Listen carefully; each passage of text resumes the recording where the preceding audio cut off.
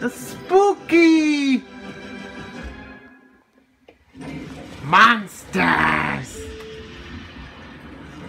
The roadside Motel is one of the most common locales for a horror film. Remote, isolated, ordinary. A comforting environment to allay the suspicions of the audience. I expect they'll be asking the innkeeper to use the telephone any minute now. Would it be okay if I used your phone? Our car isn't flat. right on cue. It's okay, Jessie. You're safe now. We'll be back on the road before you know it. What's the latest, Trixie? Uh, she's still on the phone with the tow truck company. 6 a.m.? That's the earliest you can get here? 6 a.m.? You mean we have to stay here all night? Bum, bum, bum. I don't care where we are, as long as I'm not stuck alone in that box. If you could just sign here in the guest book, and I'll need this.